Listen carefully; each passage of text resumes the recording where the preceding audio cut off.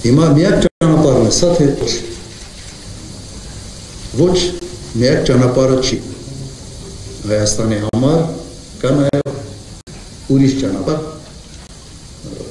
ոչ հաճելի ինձ համար, բայց այնուամենայնիվ այդ ճանապարհը կա։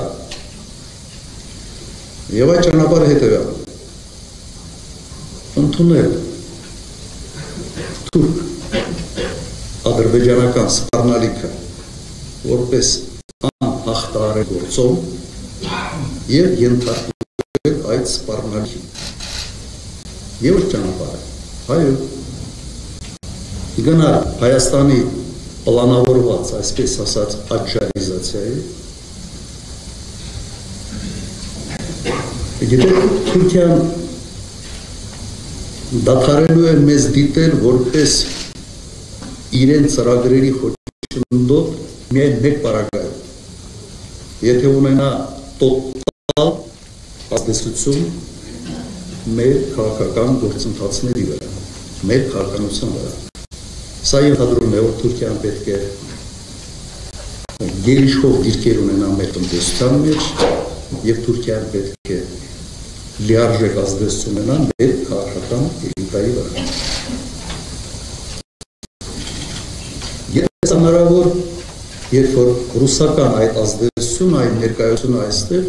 սկսի դադարել եւ սկսի փոխարինվել թուրքական ազդեցությամբ։ Սա իսկապես ենթադրում է տոտալ, այսպես ասենք, ներկայության եւ դոմինանտության տնտեսական ոլորտում, հատկապես ստրատեգիական ոլորտում։ Եվ դա հնարավոր է, թե Հայաստանը հրաժարվի Ղարաբաղից ընդհանրապես։ Սա այն նախապայմաններից է, որը այս ուղղությունը, այս, այսպես ասենք, ալտերնատիվան Հայաստանի համար կարող է գործել։ Եվ այս քարականությունը անկասկած աջակցություն ունենալու Միացյալ Նահանգների կողմից, քանի որ այն հակամարտությունը, որը կա այսօր, ոնց գլոբալ Ռուսաստանի եւ Արևմուտքի միջև, ուղղակի հուշում է, որ այս ճանապարհով կարելի է Ռուսաստանի ազդեցությունը հեռացնել կամ շատ մոդերել ընդհանուր միջև Ռուսաստանի սահմանը Կովկասյան գարնաշղթայով։ Հիմա իմ ազանը Համադրելով բոլոր այն գործընթացները, որոնք այսօր ես տեսնում եմ, Հայաստանը անցել է այս երկրորդ դերակ։ Հայաստանը գնում է այս ճանապարհ։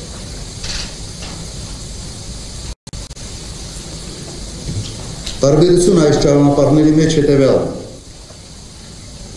Ռուսաստանին ձեռնտու է մենալ Հարավային Կովկասում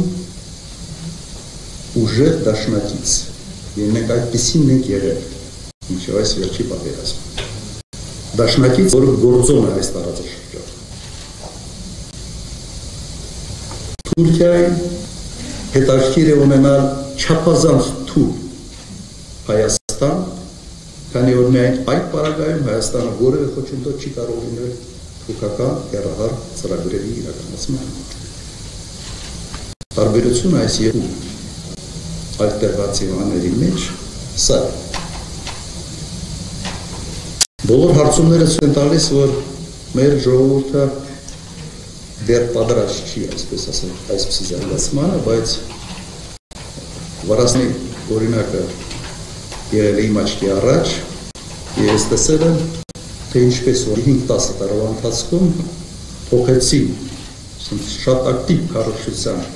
մարդկանց տրամադրությունները ինչ կարծի հակառուսականություն կա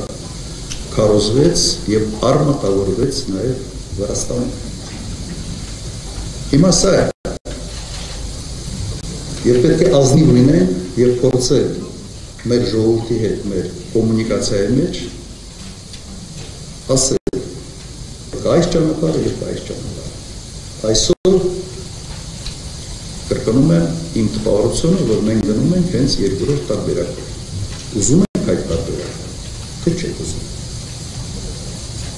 Բայց փաստը սա է